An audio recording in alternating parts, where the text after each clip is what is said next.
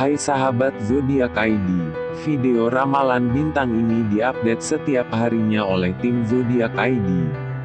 Pastikan kamu cek setiap hari, agar lebih gampang jadikan saluran ini saluran utama.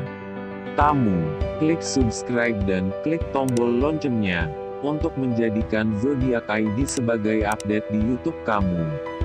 April tahun 2019 bakal jadi bulan terburuk dan tersial bagi empat zodiak ini.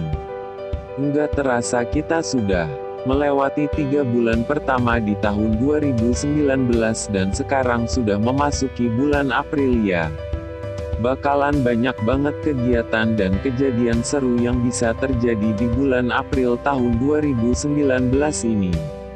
Namun, pasti ada juga kesialan dan hal buruk yang menimpa kita, terutama untuk empat zodiak ini.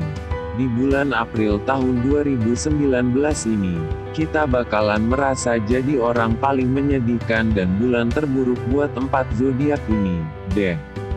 Namun, kejadian buruk tersebut bisa mengubah pandangan kita menjadi lebih positif dan lebih mencintai diri sendiri. Makanya, yuk cari tahu empat zodiak yang bakal merasakan April tahun 2019 menjadi bulan paling buruk dan gimana cara mengatasinya.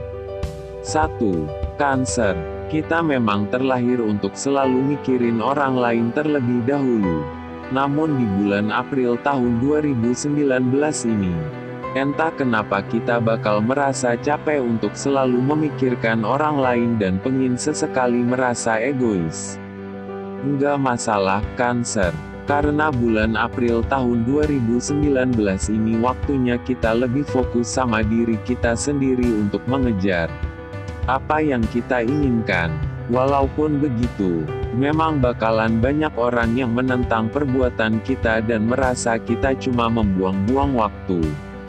Namun, kalau kita percaya sama mimpi dan kemampuan kita, dijamin kita bakalan bisa sukses di bulan-bulan selanjutnya.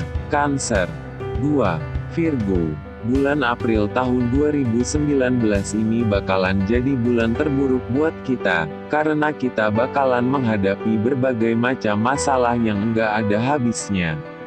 Namun, ada baiknya kita hadapi masalah tersebut satu persatu. Jangan cuma disimpan, dilupakan, ataupun dihilangkan. Karena kita cuma punya satu pilihan, yaitu menghadapi masalah tersebut biar kita enggak lagi stres. Selain itu biar enggak stres-stres banget, kita bisa mencoba belajar gimana caranya mencintai diri kita sendiri. Enggak ada salahnya sesekali mentraktir diri sendiri dengan makanan yang enak ataupun liburan yang mewah. 3. Capricorn Entah kenapa belakangan ini kita bakalan sibuk dengan berbagai tugas atau pekerjaan yang enggak ada habisnya. Gara-gara hal ini, April tahun 2019 bakalan jadi bulan paling buruk dan menyebalkan buat kita. Bahkan kita enggak bisa dapat istirahat yang cukup, selalu mudi, dan enggak bisa liburan.